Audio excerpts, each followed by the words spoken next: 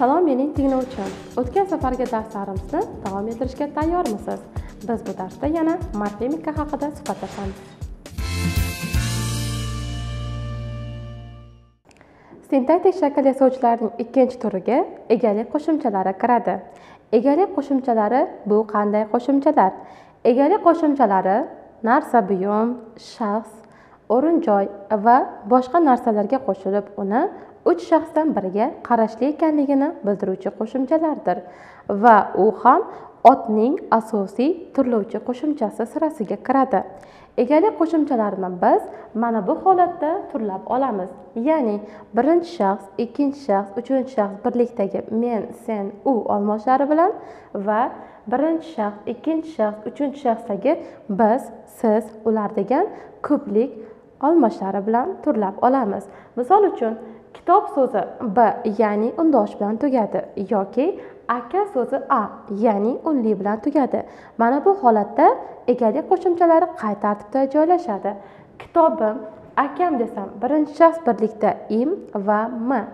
Keyingisi kitobing akang desak ikkinchi shaxs birlikda ing va nya uchinchi shaxs birlikda kitobida i onasi yoki akasi so'zida esa si qo'shimchalari bo'ladi. Keyingisi birinchi shaxs ko'plikda kitobimiz akangiz desam miz va imiz shaklida. Ikkinchi shaxs ko'plikda kitobingiz akangiz degan so'zlarida ingiz va ngiz holatida. Keyingisi uchinchi shaxs ko'plikda ya'ni ular bilan kitoblari va akalari ya'ni lar plyus i shaklida joylashadi. Demak mana bu egalik qo'shimchalari ekan. Egalik qo'shimchalari doim so'z birikmasida hokim qism tarkibida joylashadi nima uchun? Chunki ular doimo egalik qilish vazifasini bajaradi.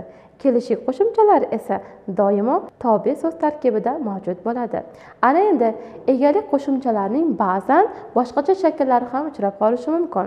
Biz hozirgina aytib o'tganimizdek egalik qo'shimchalari haqiqiy qarashlilik ma'nosini bildirishi kerak. Lekin u bu ma'nodan chetga chiqsachi u holatda biz qanday yo'l tutamiz? Xususan mana bu kechasi tuni kunduzi ilgarilari yoxud kunduzlari degan so'zda i si lari egalik qo'shimchalari qotib qolgan. Chunki bular ravish so'z turkumi bo'lib ravish so'z turkumi hech qachon turlanmaydi va tusanmaydi ham. Ana endi e'tibor berib o'tadigan bo'lsak mana bu kecha tun kunduz so'zlari hech kimga tegishli emas. Shu jihatdan ham mantiqan o'ylab qarasak bu so'zlarda egalik qo'shimchalari bo'lishi mavjud emasdir. Keyingisi mana bu kulishim va gapirganim so'zlaridagi im egalik qo'shimchalari harakat bajaruvchining shaxsini va sonini ko'rsatadi. E'tibor bersak kulishim so'zida im egalik qo'shimchasi harakat nomiga gapirganim degan so'zda im egalik qo'shimchasi sifatdosh tarkibida keldi. Demak harakat nomi va sifatdoshlarga qo'shilgan egalik qo'shimchalari harakat bajaruvchining shaxsini va sonini ko'rsatar ekan.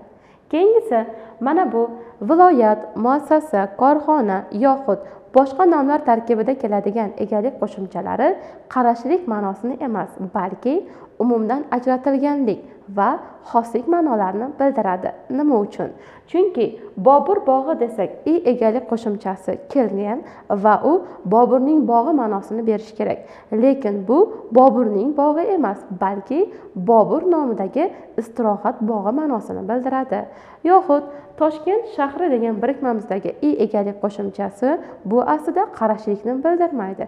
Chunki u toshkentning shahri emas balki toshkent nomidagi shahar ma'nosini anglatadi. Yoxud g'uncha jurnali desak u g'unchaning jurnali emas balki g'uncha nomidagi jurnal ma'nosini anglatar ekan. Demak e'tibor berib o'tadigan bo'lsak viloyat korxona muassasa tashkilot asar nomlari tarkibidagi i yoki si boshqa egalik qo'shimchalari umumdan ajratilganlik va xoslik ma'nosini bildirib o'tar ekan. Ana endi shu o'rinda yana bitta narsani eslatib o'tamiz. Egalik qo'shimchalari o'rin joylar narsa buyumlar shaxslarga qo'shilib uni uch shaxsdan biriga qarashli ekanligini bildirib turuvchi qo'shimchalardir va ular otning asosiy turlovchisidir. Sintaktik shakl yasovchilarning qolgan ikki turiga shaxson qo'shimchalari hamda zamon qo'shimchalari kiradi. Bu ikkisi ham fe'lning o'ziga xos munosabat shaklini tashkil etuvchi tuslovchi qo'shimchalaridir. Shaxson qo'shimchalari bu nima degani? Shaxson qo'shimchalari harakat va holatga qo'shilib ana o'sha harakat bilan holatning bajaruvchisi kim ekanligini bildiradi. Shaxson qo'shimchalar o'z ichida judayam egalik qo'shimchalariga o'xshab ketadi. Faqatgina ularning bitta farqi bor. Egalik qo'shimchalari ot va otlashgan so'zga qo'shilsa shaxson qo'shimchalari asosan fe'l so'z turkumiga ya'ni harakat hamda holatga qo'shiladi. Shaxson qo'shimchalarni biz yana egalik qo'shimchalariga o'xshab tuslab chiqamiz. Ya'ni men sen u biz siz ular kabi birlikda va ko'plikdagi olmoshlar ya'ni kishilik olmoshlarni bilan qo'yib turlaymiz misol uchun bordim boraman. Birinchi shaxsda shaxson qo'shimchalar m va man? Ikkinchi shaxs birlikda ne va san uchinchi shaxsda esa di qo'shimchalari bo'ladi. Yoxud biz bilan kelgan paytda k qo'shimchasi hamda mis qo'shimchasi.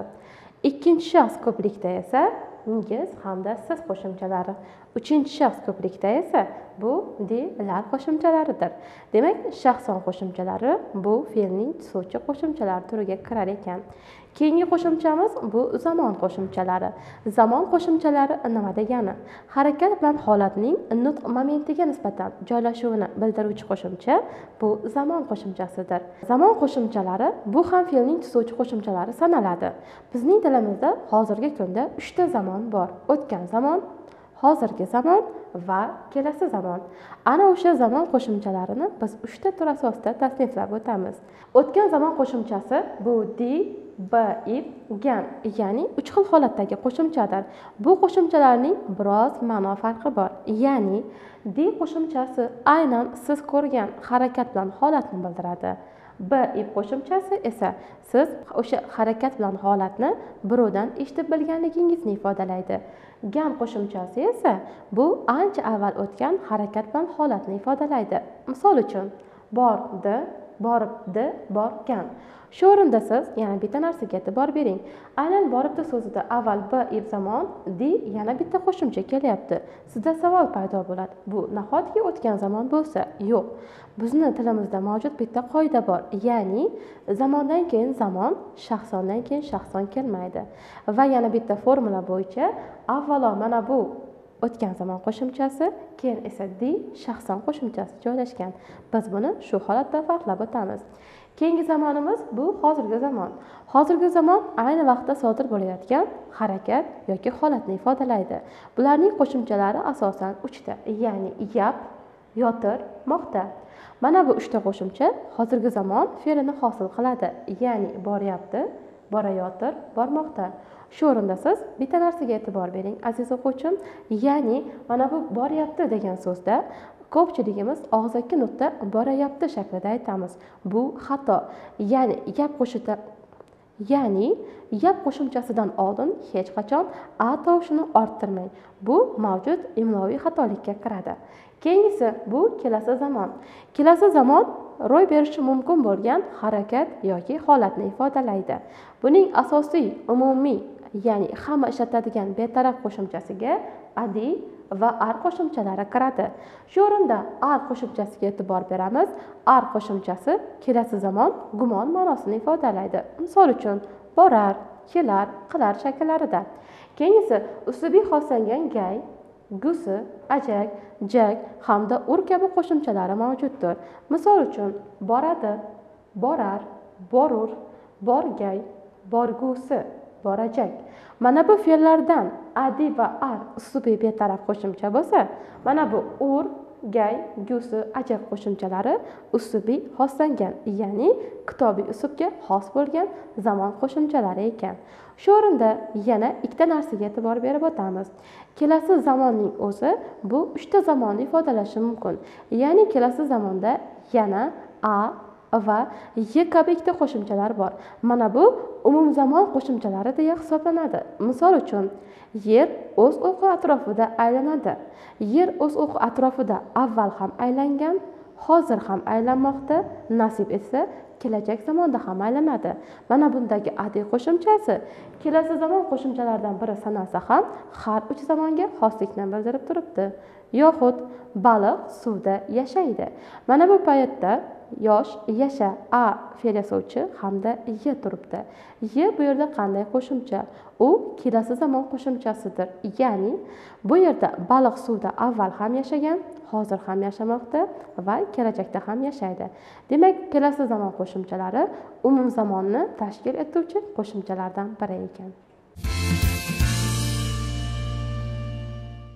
Sintaktik shakl yasovchilarimizning oxirgi turiga mayl qo'shimchalari kiradi.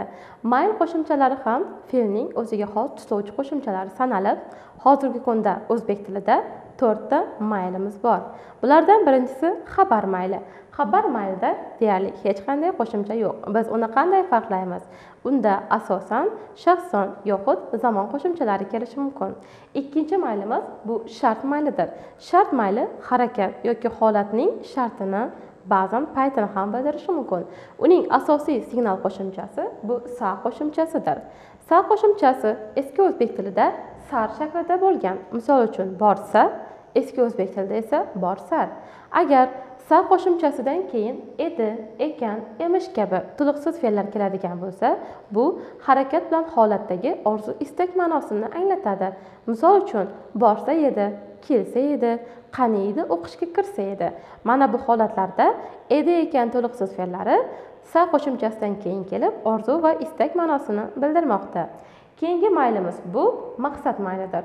Maqsad mayli uning asosiy qo'shimchasi bu moqchi. Moqchi qo'shimchasi ba'zan kelasi zamon qo'shimchasi ham deb yuritiladi. Chunki moqchi qo'shimchasida kelasi zamonda mavjud yoki ro'y berishi mumkin bo'lgan harakat va holatning maqsadini aniq bo'lishini bizga ta'minlab beradi. Misol uchun u ertaga kelmoqchi shaklida. Ana endi may qo'shimchalarimizdan eng asosiy va kattalari bu to'rtinchi tur ya'ni buyruq istak maylidir buyruq istak maylini biz yana o'sha men sen u kabi birlikdagi va biz siz ular kabi ko'plikdagi olmoshlar bilan turlab chiqamiz. Misol uchun men shaklida agar bor bu undosh bilan tugadi o'qi esa i ya'ni unli bilan tugadi. Bu holatda undagi qo'shimchalar qay holatda joylashadi? Misol uchun men boray ay men o'qiy y sen borgin u borsin biz boraylik o'qiylik. Siz boring o'qingiz. Ular borsinlar shaklida joylashadi. Va bularga e'tibor beradigan bo'lsak aylik hamda yillik qo'shimchalari murakkab qo'shimchalar sirasiga kiradi. Demak tilimizdagi sintetik shakl so'zlarning oxirgi turi bu mayl qo'shimchalari ekan. Ana endi e'tibor berib o'tamiz. Sintaktik shakl yasovchi qo'shimchalarga egalik kelishik kabi otning turlovchilari zamon shaxson mayl kabi fe'lning tusovchi qo'shimchalari kiradi va ular o'z ichida yana munosabat shakllari deb ham ataladi.